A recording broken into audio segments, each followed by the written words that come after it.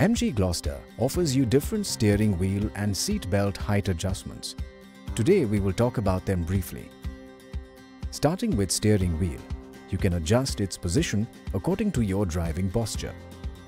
To adjust the steering height, fully release the adjustment handle on the steering column downwards. Then grasp the steering wheel with both hands and now you can move it forward, backwards, upwards and downwards to adjust it to a proper position. After adjusting the steering position, pull the steering wheel, adjusting the handle entirely up to lock the steering to its new position. Now, coming to seat belt height adjustments, you can only adjust the driver and front passenger's seat belt height.